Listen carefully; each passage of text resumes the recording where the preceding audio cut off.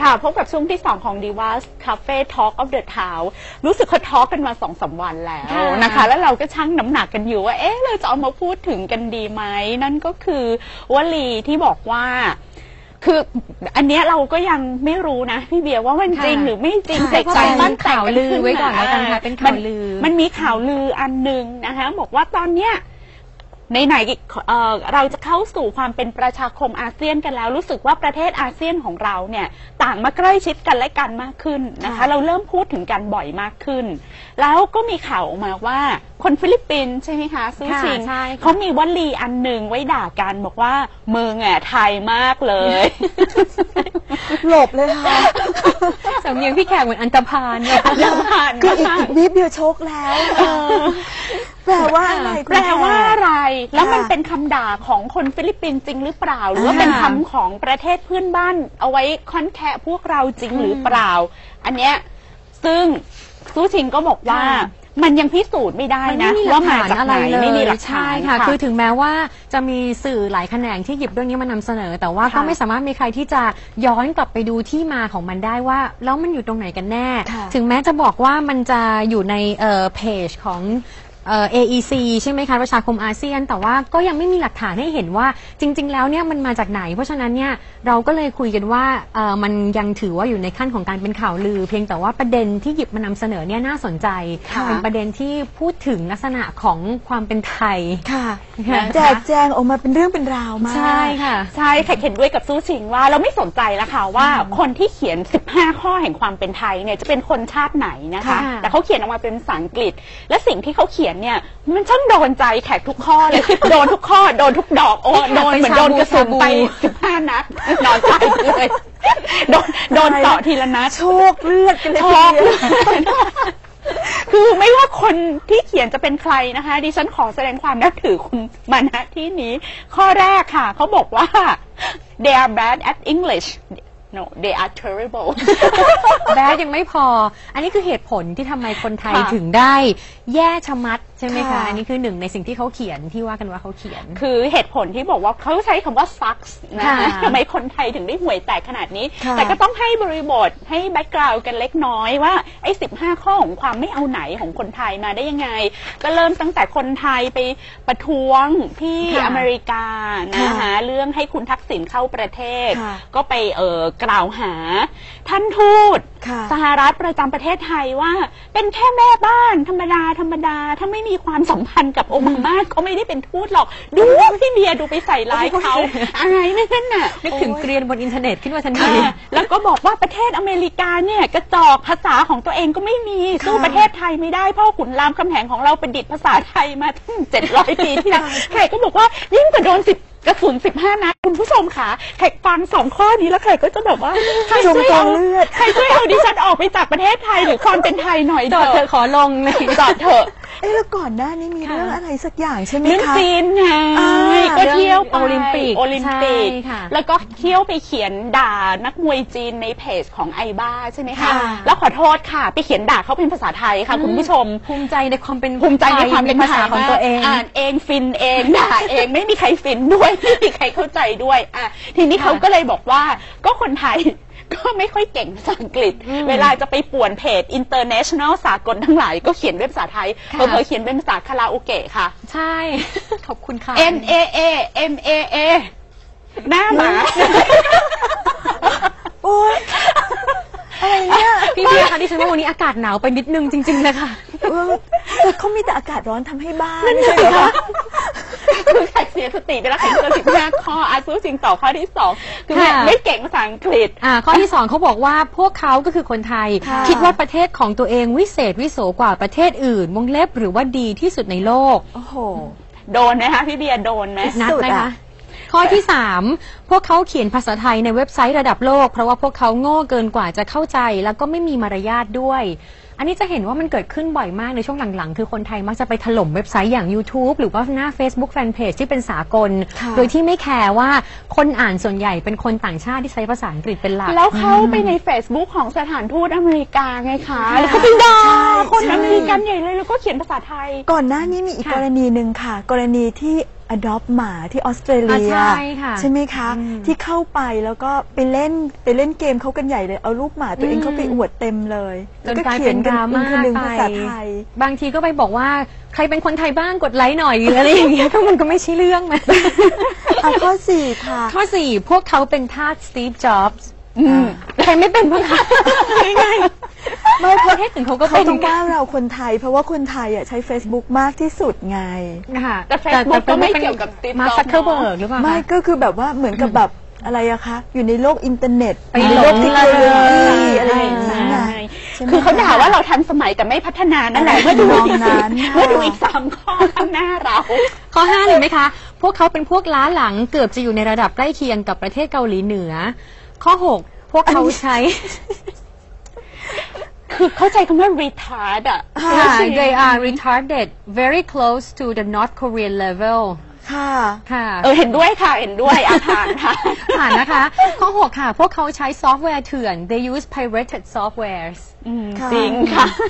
ก็ขนาดแอปพลิเคชันแอปละ 30 บาท ก็ยังเป็นดราม่ากันขึ้นมาได้ว่าทำไมจะต้องซื้อด้วย หรือว่าแบบค่ะ เรื่องของเกมต่างๆ นานาแล้วก็ไปนี่ย เจลเบรกกันใช่ค่ะอรแต่อยังไงย่าก็ตามข้อ 6 เนี่ยคำว่าซอฟต์แวร์ซอฟต์เขียนผิดนะคะซอโซใช้ไมตรีไม่ได้นะคะงั้นไงคะ เจอพี่เบียร์ก็ไปแล้วเจอบรรณาธิการของจเราบกอะข้อเจ็ดค่ะ ค่ะ พพววกกเขาเขาเกลียดค่ะประชาธิปไตยจริง ๆ แล้วพวกเขายังไม่มีประชาธิปไตยด้วยซ้ำไป สวัสดีค่ะดิฉันฮัลโหลดิฉันว่านี้ในดิฉันสว่าวิตข้อยูข้อเดียวก็ตายหมดแล้วค่ะ คือเฮี้ยนหมด เอาข้ออื่นออกไปหมดตรงนี้ก็ตายสนิทแล้วค่ะคุณ พวกเขาเป็นพวกนิยมศักดินานะคะอะเป็นพวกเอาข้อฟิลดอลลิข้อซึแปมดค่ะ แล้วก็ข้อ 9 พวกเขาชอบดูแคลนเพื่อนบ้านอาเซียน โดยเฉพาะลาวและกัมพูชา พวกเขาคิดว่าประเทศของตัวเองดีกว่า ไม่จริง ซึ่งนไม่ไม่ดีเป็นกว่าความเลจริง ย ค่ะแล้วก็พวกเขาเห็นความศรัทธาสำคัญกว่าเหตุผลอืม นะคะ ข้อสิบพวกเขาทำลายความเป็นชาวพุทธค่ะอะข้อพวกเขาสิบทำลาเอ็ยดความเป็นพวกเขาชาวพุทธทำลายความเป็นชาวพุทธนะคะ ซึ่งข้อนี้ถ้าให้เขตเดาก็คือว่า น่าจะเป็นในแง่ของการปกป้องศาสนาพุทธมากจนเกินกว่าเหตุค่ะนะคะ ไม่ส่งเสริมบรรยากาศการวิพากษ์วิจารณ์ก็ค่ะ เท่ากับเป็นการทำลายนั่นเอง ข้อ 12 พวกเขาเป็นพวกหน้าไหว้หลังหลอก ประเทศของพวกเขาเป็นตลาดค้าเพศที่ใหญ่ที่สุดในโลกประเทศหนึ่ง แต่ก็ปฏิเสธความจริงที่จะยอมรับความจริงอืมในข้อนี้ จริงถ้าบอกว่าเป็นมือถือสากปากถือศีลก็น่าจะใกล้เคียงใช่ไหมคะค่ะอะไรทำนองนั้นนะคะค่ะ แล้วก็ทีมฟุตบอลของพวกเขาห่วยแตก รัฐบาลของพวกเขาฆ่าประชาชนของตัวเองอุ้ยเอ๊ะรู้ดีนะเนี่ยแค่ทัก คิดว่าไอ้คนไทยอุ้ยเขียนคนไทยเขียนหรือเปล่า แต่ภาษาอังกฤษอุ้ยดีอะไรอย่างนี้ค่ะแต่ที่น่าสนใจคือข้อ 15 จุดๆๆค่ะ อืมอันนี้คืออะไรคะ ก็ไม่มีใครทราบนะคะจุดๆๆ ให้คิดกันเอาเอง มันทำให้แขกเออเรามีเวลาอีกประมาณ 4 นาที ใช่ไหมคะ ค่ะ ความเป็นไทยเนี่ย ก่อนหน้าที่จะมี 15 ข้อว่าด้วยความเป็นไทยที่ดิฉันเหมือนเจอกระสุน 15 นัดพรุนไปทางร่างเนี่ยนะคะ มีคนที่เขียนถึงความเป็นไทย ไว้อย่างเจ็บแสบอีกคนหนึ่งก็คือคุณมุกหอมวงเทศนะคะค่ะ อะจะอ่านเลยก็แล้วกันไม่อภิปรายแล้วค่ะ เพราะว่า ถ้าตะกี้เป็นสิบกระสุนสิบห้านัดที่พรุนเนี่ย ฉบับของคุณมุกหอมนี่ทำเอาแหลกรานกันไปเลยค่ะ อันนี้ระเบิดค่ะระเบิดค่ะ ความเป็นไทยฉบับราชการอนุรักษ์นิยมเป็นปฏิปักษ์ต่อหลักการและคุณค่าสากลทุกชนิดที่มนุษย์และสังคมสมัยใหม่ควรยึดถือ ความเป็นไทยคือการยอมรับโดยซีโรราบในโครงสร้างระเบียบแบบแผน และความสัมพันธ์ทางสังคมแนวดิ่ง ความเป็นไทยรังเกียจสิทธิเสรีภาพ ความเป็นไทยเกลียดชังความเสมอภาค ความเป็นไทยดูถูกสิทธิมนุษยชน ความเป็นไทยดูหมิ่นประชาธิปไตย ความเป็นไทยไม่อนุญาต และไม่มีความอดทนให้กับการโต้แย้งการเรียกร้องและการแสดงความรู้ดีกว่าจากคนชั้นต่ำและคนต่างชาติอืมความเป็นไทยไม่แยแสความเป็นธรรม ความเป็นไทยไม่สามารถทนทานการตรวจสอบวิพากษ์วิจารณ์ได้ ความเป็นไทยเกลียดกลัวความรู้และความจริงนอกระบอบโฆษณาชวนเชื่อ ความเป็นไทยไม่ถูกชะตากับความเป็นเหตุและเป็นผลอืมความเป็นไทยไม่ยี่หระกับศักดิ์ศรีความเป็นมนุษย์ ความเป็นไทยหวาดระแวงและต่อต้านความเป็นตนตก ความเป็นไทยไปกันไม่ได้กับอุดมการณ์เสรีประชาธิปไตยหรือสังคมนิยม แต่เข้ากันได้ดีเป็นปีเป็นขรุ่ยกับระบอบเผด็จการ ความเป็นไทยขยะแขยงการเมืองแห่งการจัดสรรอำนาจและผลประโยชน์ ความเป็นไทยให้สิทธิธรรมอันเปี่ยมล้นกับชนชั้นนำตามจารีตและสมุนบริวาร เป็นผู้กำหนดทิศทางและความเปลี่ยนแปลงของสังคมไทย แต่ห้ามไม่ให้ประชาชนเสอะเป็นผู้กำหนดเองคความเป็นไทยอนุโมทนาในทุนนิยม และบริโภคนิยมของชนชั้นสูง แต่สาบแช่งทุนนิยม และบริโภคนิยมของชนชั้นล่าง ความเป็นไทยยินดีเพิ่มบำเรออภิสิทธิ์ให้กับอภิสิทธิชน ยินดีลดริบละเมิดสิทธิพื้นฐานของสามัญชน ความเป็นไทยเป็นเรื่องธรรมชาติอยู่ในสายโลหิตก็จริงอยู่ แต่ไม่ได้เปิดกว้างต่อคนไทยทุกกลุ่มทุกคน ดังนั้นคนไทยทุกกลุ่มทุกคนต้องรู้จักปรับตัวกลับตัวกลับใจให้เข้ากับความเป็นไทยเอง ความเป็นไทยกระสันให้โลกสากลยอมรับความเป็นไทย แต่ความเป็นไทยไม่ยอมรับโลกสากลที่ขัดกับความเป็นไทย ความเป็นไทยอยากไม่เหมือนใครและเหนือกว่าใครในโลกล่า ความเป็นไทยมุ่งมั่นประนามและกวาดล้างความไม่เป็นไทยของคนไทย ขณะที่เอื้ออาทรพร้อมรับ และชมเชยการเข้ารีดความเป็นไทยของคนต่างชาติจากประเทศโลกที่หนึ่งความเป็นไทยไม่เคยรู้สึกผิดบาปกับความชั่วร้ายที่กระทำในนามของความเป็นไทย ความเป็นไทยให้อภัยกับสิ่งที่ไมิอาจให้อภัยได้ ความเป็นไทยรักความสงบเรียบร้อย แต่เพื่อรักษาความสงบเรียบร้อย และขจัดความกระด้างกระดื่นต่อความเป็นไทย ความเป็นไทยมีความชอบธรรมที่จะออกใบอนุญาตฆ่าได้ทุกเมื่อ ความเป็นไทยไม่มีปัญหาเลยกับความรุนแรงเชิงกายภาพ และเชิงโครงสร้างจากบนลงล่าง แต่จะมีปัญหาหากเกิดจากข้างล่างขึ้นข้างบน และจะมีปัญหาที่สุดหากกล่าวว่าความเป็นไทยคือความรุนแรง สุดท้ายนี้โปรดเข้าใจและเห็นใจกันหน่อยว่าความเป็นไทยจำเป็นต้องก่อกรรมทำเข็นและโหดเหี้ยมอมหิตในบางครั้ง เพื่อพิทักษ์รักษาความเป็นไทย ด้วยเหตุที่ความเป็นไทยเป็นศัตรูกับความมีอารยะ และความเจริญก้าวหน้า ความเป็นไทยจึงเป็นมิตรได้แต่ความดักดานเท่านั้น เอ่อตายไปเลย นี่เป็น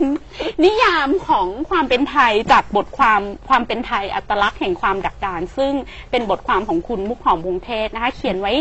นานแล้วนะคะ เขียนไว้ตั้งแต่ปี 2011 เดือน 9 นะคะ ที่เผยแพร่ในเว็บไซต์ประชาไทย ค่ะ ซึ่งคือจาก 15 ข้อนะคะก็ เราอึ้งอะ่ะ แล้วแขกก็รู้สึกว่าถึงเวลาแล้วหรือยังนะคะที่เราจะได้มาทบทวนอัตลักษณ์ความเป็นไทยของเราว่า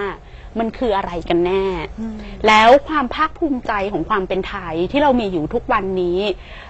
มันเกิดความเป็นไทยที่เรายึดถืออยู่ทุกวันเนี้ยระบอบในในในบทความของคุณมุกหอม ไปโค้ดเอ่อคำของอาจารย์สายชนสัตยานุรักษ์มาอีกทีหนึ่งนะคะ เรียกว่าระบอบสัจจะ คือความเป็นไทยที่ถูกสร้างขึ้นแต่ละระลอกเนี่ยถูกสร้างขึ้นมาได้อย่างไร แล้วก็ความเป็นไทยแบบไหนที่ถูกสถาปนา ให้อยู่ในสำนึกของคนไทย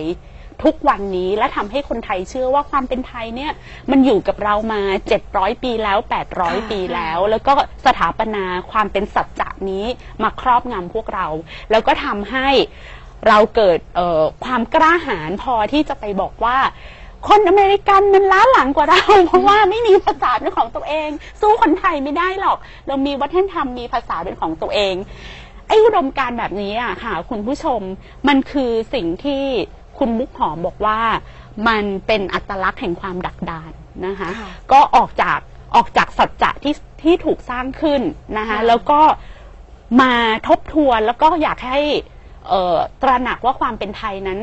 เปลี่ยนแปลงได้เสมอ แล้วเราจะสมาทานความเป็นไทยที่เป็นอันหนึ่งอันเดียวกันกับหลักการสิทธิมนุษยชนสิทธิมนุษยชนที่เป็นสากลไหม ความเป็นประชาธิปไตยที่เป็นสากลไหม หรือว่าจะไปยึดถือความเป็นไทยที่เราเชื่อว่าเหนือกว่าแผ่นดินอื่นใดในโลกล่าแล้วเราจะไม่เป็นมิตรกับใครอีกต่อไปแล้วเว้นไว้ แต่ว่าพวกเขาจะมาซีโรราบต่อความเป็นไทยอันดักดานที่เรายึดมั่นถือมั่นอยู่ค่ะเดี๋ยวพักกันสักครู่ค่ะ